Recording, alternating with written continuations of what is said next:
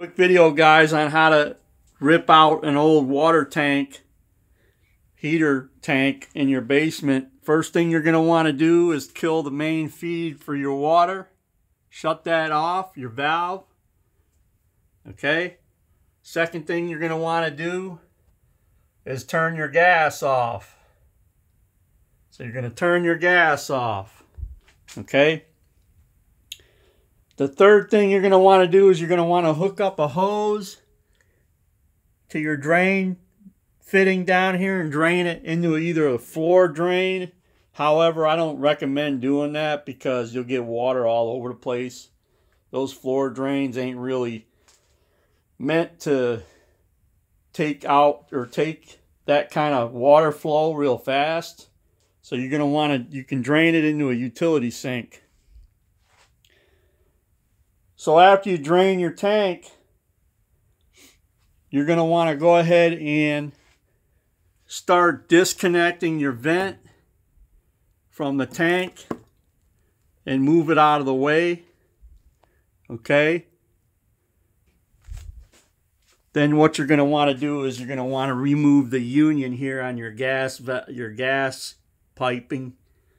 You want to separate your gas feed from the gas valve. Okay. And I don't know why this tank is about 35 years old and I don't know why they put I don't even know who put insulation over the tank because these tanks are already insulated inside. So you don't need insulation over a hot water tank. Okay. Next thing, when you drain your tank out and all your water is out, just make sure your pressure release valve, you release all the pressure out of your tank. You don't want no any, you don't want none of your, uh, you don't want no pressure into the tank because at that point you don't need it anyway, and it's probably it probably won't have any pressure in it anyway.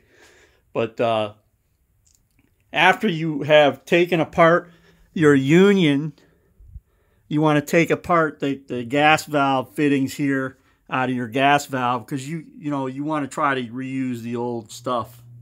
You can reuse it. And what and I noticed that this drip leg here is about two or three inches off the floor and that don't have to be that low. I think it's I think code is a foot. Code is six to 12 inches off the floor once you remove your gas fittings from your gas valve, you can go ahead and pull the tank out after you go after you go ahead and remove the fittings here. Undo the fittings here with a pipe wrench. You're going to get some water that will spill onto the floor and stuff, but that's okay. And then you just move the tank out of the way and push push your other tank in.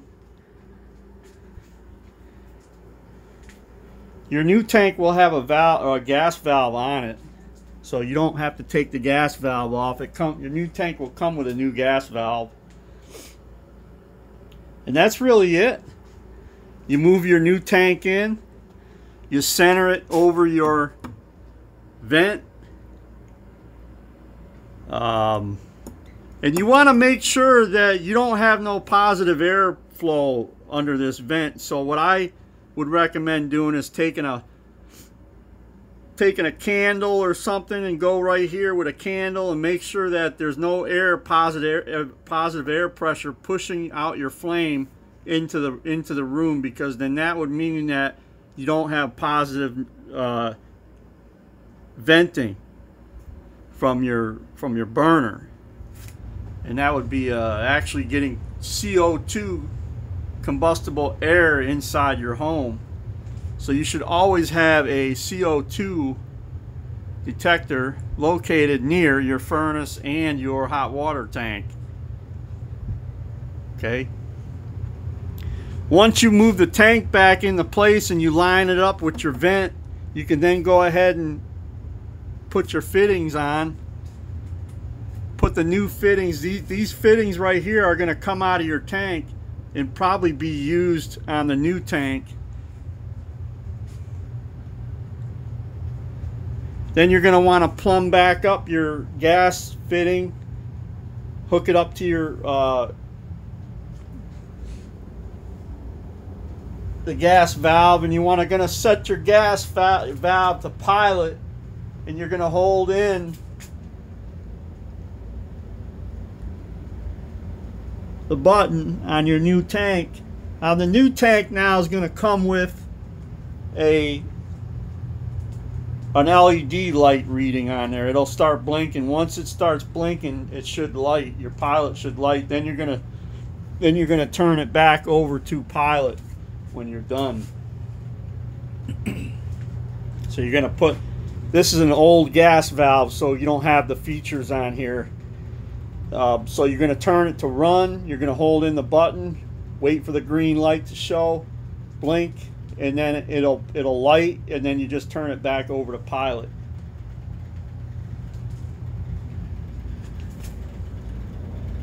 Or you're going to turn it from pilot to on rather. I'm sorry, my, my mistake, my bad.